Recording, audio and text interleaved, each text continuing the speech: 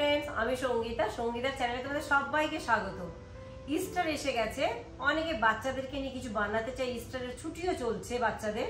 তবে ভাবলাম, চলো একটা ইস্টার রিলেটেড একটা রেসিপি তোমাদের সাথে শেয়ার করি, যেটা খুব একটা কঠিনও নয়। ঘরের ইনগ্রেডিয়েন্টস দিয়ে বানাতে পারবে, বাচ্চাদেরকেও ইনভলভ করতে পারবে। তো চলো, বানাতে শুরু করি এখান থেকে।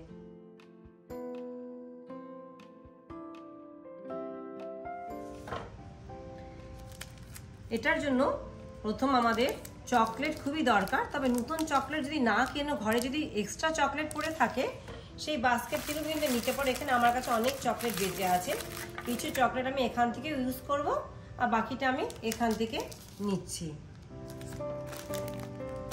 আর একটি উপকরণ যেটা চাই হলো বিস্কিট। যে কোনো বিস্কিট তোমরা নিতে পারো ঘরে যেটাই রয়েছে। আমি এখানে গুড্ডে ছিল ঘরে গুড্ডে বিস্কিট নিয়ে নিয়েছি, খেতেও বেশ ভালো লাগে। এই গুড্ডে বিস্কিট সে এটা দিয়ে আমি আজকে করতে যাচ্ছি। এখানে আমি কিছু ড্রাই ফ্রুটস আর ড্রাই নাটস নিয়েছি। যেটা তোমাদের বাড়িতে আছে সেটাই তোমরা এই রেসিপিতে কিন্তু ব্যবহার করতে পারো।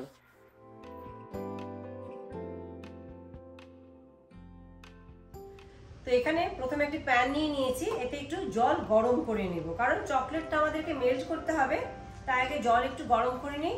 এর মধ্যে আমি চকলেটটি মেল্ট করে নেব। এখানে প্রথমে একটি পাত্রে আমি তিনশো গ্রাম চকলেট যেটা নিয়েছি, সেটা প্রথমে ভেঙে এই পাত্রে নিয়ে নেব যেটা আমাকে মেল্ট করতে হবে।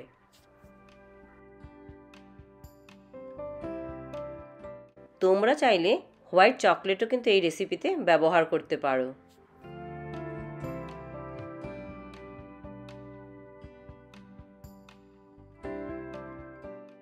জল গরম হয়ে এসেছে, আমি ডাইরেক্ট পাত্রটি এখানে বসাবো না, তাই একটি স্ট্যান্ড দিয়ে দিচ্ছি।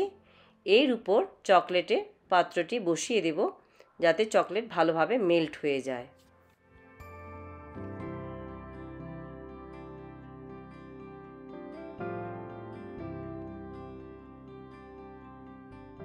চকলেট মেল্ট হতে হতে এদিক এদিকে বিস্কুটগুলো গুঁড়ো করে বিস্কুটের বেসটি আমি বানিয়ে নিচ্ছি। এখানে আমি দুশো পঞ্চাশ গ্রাম বিস্কিট নিয়েছি। এখানেও তোমরা তোমাদের পছন্দ মতো বিস্কিট ব্যবহার করতে পারো।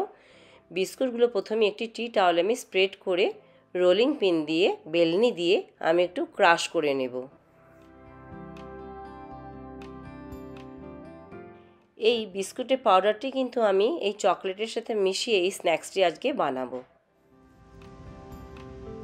এখনও পুরোপুরি গুঁড়ো হয়নি। তোমরা চাইলে মিক্সিতেও বানিয়ে নিতে পারো তবে পুরো একদম গুঁড়ো না হলে একটু দানা দানা থাকলে সেটা খেতে কিন্তু বেশ ভালো লাগে।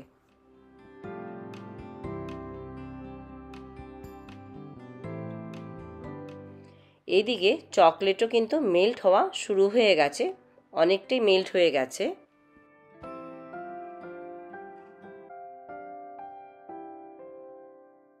এবার এতে আমি hundred twenty five milli honey অথবা গোল্ডেন সিরাপ দিচ্ছি। এটাও পছন্দ মতো। চাইলে হানিও দিতে পারো বা গোল্ডেন সিরাপও দিতে পারো। আর দিচ্ছি hundred twenty five gram butter.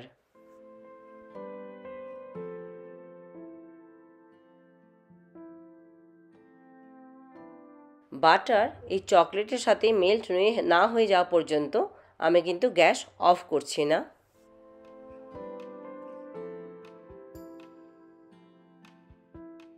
গ্যাসের হিট এখানে আমি মিডিয়ামই রাখছি। মিডিয়াম হিটেই কিন্তু আমি চকলেট আর বাটার পুরোটাই আমি মেল্ট করছি।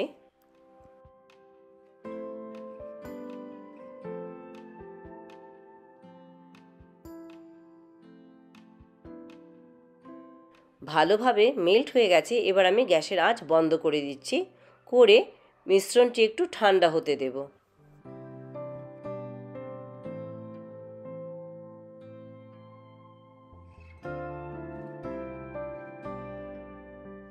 এটা ঠান্ডা হতে হতে বলি, রান্না কিন্তু বাচ্চাদেরকে নিয়ে করার কিন্তু একটু খুব মজার ব্যাপার আছে। বাচ্চারাও এক্সাইটেড থাকে, মার সাথে হেল্প করছে এসে, নিজেদেরকে বড় ভাবে।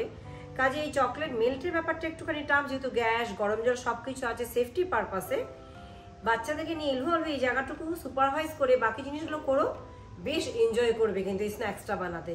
কাজেই নেক্সট যখন বানাবে রেসিপি ট্রাই করবে, বাচ্চাদেরকে ইনভলভ করতে একদম ভুলো না। এখানে বিস্কুটের গুঁড়ো হয়ে গেছে। তোমরা চাইলে মিক্সিতেও করে নিতে পারো বা রোলিং পিন দিয়েও করতে পারো, যেটা তোমাদের সুবিধে। এখানে ড্রাই ফ্রুটস দেখিয়েছিলাম আমি। খেজুরগুলোকে ছোট ছোট করে, খুব একটা ছোট পাতলা করে নিয়ে কেটে নিয়েছি। কিশমিশগুলো সেমই রেখেছি। এখানে পিস্তা, কাজু আর মিক্স সিডস রেখেছি। ঘরে যেটাই তোমাদের ড্রাই ফ্রুটস থাকে, সেটা দিয়ে তোমরা এটা বানাতে পারো। এইবার একটু ঠান্ডা হয়ে এসেছে মিশ্রণটি, এবার এতে আমি এই বিস্কুটের গুঁড়ো মিশিয়ে দেব।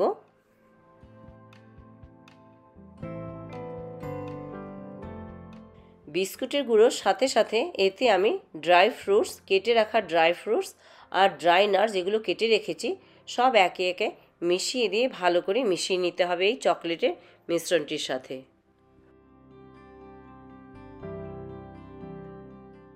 খুবই সিম্পল খুবই ঝটপট বানানো একটি রেসিপি আর খেতেও কিন্তু তেমনি টেস্টি বাচ্চাদের তো খুবই পছন্দ হবে।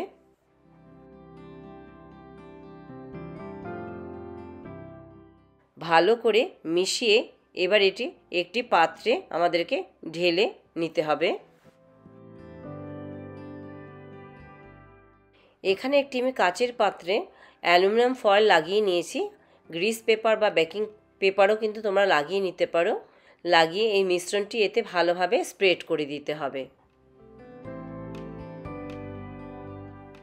চকলেট, বাটার হানিতে একটু স্টিকি হয়ে গেছে, তো ভালো করে নিয়ে একটুখানি চামচের পেছন দিয়ে ভালো করে চেপে চেপে ভালো করে স্প্রেড করে দেব এবার। এবার বেঁচে থাকা পিস্তার কুচিগুলো উপর দিয়ে ছড়িয়ে দেব।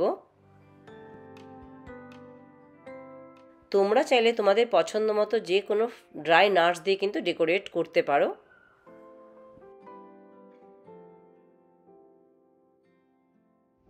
হয়ে গেল ইস্টারের জন্য বাচ্চাদেরকে টিফিন দেওয়া স্ন্যাক্সের একটি রেসিপি। এবার এটা আমি ফ্রিজে রাখব এক থেকে দেড় ঘণ্টা যতক্ষণ একটু শক্ত না হয়, তারপরে বরফির আকারে কেটে সার্ভ করতে পারো। তো ফ্রিজে রাখতে যাচ্ছি, পরে তোমাদেরকে দেখাবো কেটে। তো আজকের ভিডিওটা আমি এখানেই শেষ করছি। ইস্টার স্পেশাল এটা বানালাম তোমাদের জন্য। ভালো লাগলে লাইক শেয়ার সাবস্ক্রাইব করতে ভুলো না। পরের ভিডিওতে আবার অন্য কিছু নিয়ে তোমাদের কাছে আসব। সবাই ভালো থেকো, চলো। বাই বাই ঘণ্টা তিরেক পর ফ্রিজ থেকে বের করে তোমরা তোমাদের পছন্দ মতো আকারে টুকরো করে নিও। ব্যাস, ঝটপট তৈরি হয়ে গেল আমাদের ইস্টার স্পেশাল স্ন্যাক্স